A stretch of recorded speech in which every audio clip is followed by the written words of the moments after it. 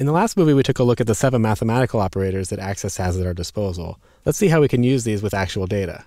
We're going to go up to our Create tab, and we'll create a new query in Design View. I'm going to add our products table to our query, and we're done with the Show Tables window, so I can close that. Now for this query, we're interested in finding out the price per ounce of all the products that we carry.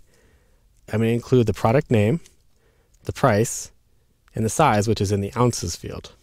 Now we're going to create the mathematical expression that'll give us the price per ounce of each product.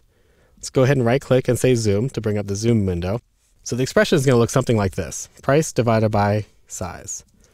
Now, this isn't actually the correct syntax that we need. We need to be more specific so that Access knows exactly where these values are coming from. So I'm going to go ahead and rename price. And I'm going to tell it that it's coming from the table products, TBL underscore products. And it's coming from the field named price. And this is the syntax that Access requires. We need to wrap the table name in square brackets, and then we separate each by a period. I'm going to do the same thing for our size field. So the size is coming from the table products, and it's coming from the ounces field. So once again, we're taking the ounces field from the table products. So our full expression reads to take the price in the products table divided by the size, which is in ounces, from the products table.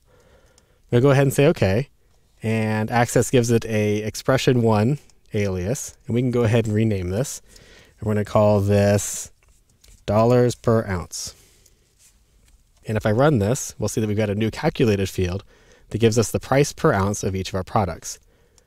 If I were to sort based off of this, I can click on the downward arrow and say sort largest to smallest.